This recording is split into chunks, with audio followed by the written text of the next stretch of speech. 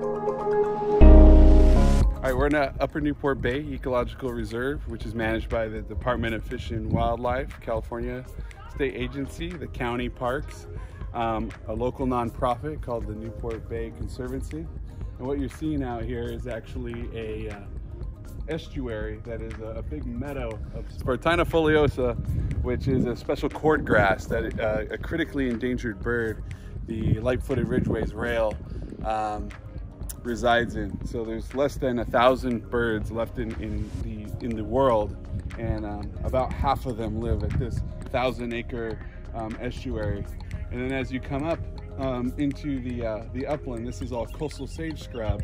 That is more of the dry habitat that you would find in, in, in a native ecosystem here, which is home to another endangered bird, the California gnatcatcher. This is a, a big area for community um, naturalist training. There are a lot of different um, um, groups that do marine wildlife um, tours, um, naturalist tours, habitat restoration, and um, environmental education which allows this community and school groups to really connect with nature. So even though we live in a sea of, of uh, urban space, of, of houses and buildings, this is a respite for that community where they can come and still connect with nature and understand the natural world before it's gone.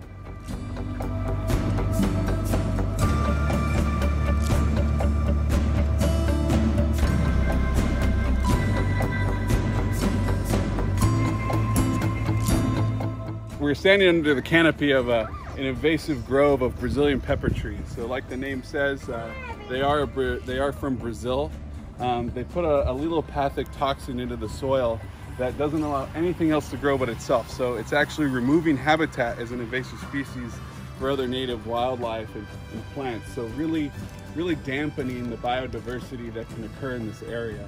So even though it does have a, a nice shade for us to enjoy, um, there's very little diversity um, here. So um, a lot of volunteers in, in uh, for the nonprofit, the Newport Bay Conservancy, uh, tries to get rid of these trees, but the size of them there, it's very expensive, and um, and then you have to restore it with all the toxins in there. So, and if you look behind you, they're actually spreading to the other side of the hill, so or on the, the toe of the slope, and it, and all that kind of shrubs is really where all the biodiversity is. Uh, over a thousand species of plants that only occur in California and nowhere else on the entire planet. Wow. Yeah. And, and if you're 34? One of 34 biodiversity hotspots in the world, yeah. This one right here. It's actually um, a parasitic plant. Look at, you can see actually a flower bud on it right there. And since it doesn't have any green, it doesn't have any chlorophyll, it's actually not photosynthesizing. It's literally stealing all the sugars and nutrients and water from this um, alkali heath, Frankenia salina. So these are two different plants. Yep. And this is a the one is the witch's hair is a parasite. Yeah, and the orange is actually a keratin. It's actually flowering right now. It has the very little white flowers. Um, you know, since it's growing in, in basically a, a highly saline environment, they're called halophytes, meaning salt loving. And they're actually storing the salt in those red tips and the red tips right there, and then those fall off. So that's the way it actually exudes the salt from, from the rest of the plant.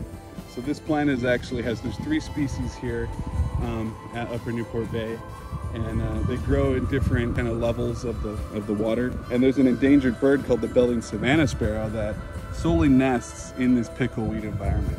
Native Americans would eat this and it tastes like pickles, salty pickles.